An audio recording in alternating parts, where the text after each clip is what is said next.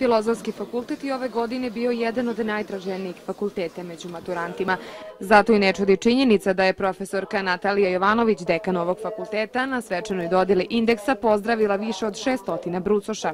Ovog trenutka imamo 4000 studenta koje obslužuje 220 zaposlenih, 160 nastavnika i saradnika i mislim da smo jedno ogromno preduzeće, da tako kažem, i ono što se nije dešavalo, što mora da se desi, to je da dobijemo još više prostora. U studentske klupe su ove godine prvi put seli i brucoši socijalne politike i socijalnog rada.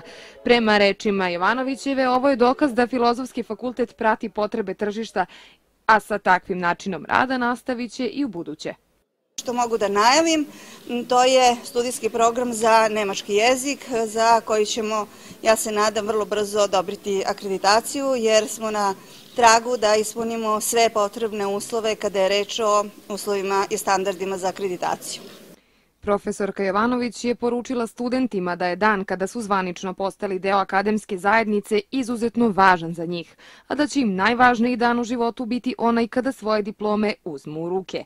Podsjetimo, na Filozofskom fakultetu ima 12 studijskih Podsjetimo, Filozofski fakultet ima 12 studijskih programa, anglistiku, istoriju, psihologiju, pedagogiju, komuniciranje i odnose s javnošću, novinarstvo, francuski jezik i književnost, ruski jezik i književnost, srbistiku, filozofiju, sociologiju, socijalnu politiku i socijalni rad. Nemački jezik bi iduće godine mogao da postane novi 13. studijski program, najavljuju sa fakulteta.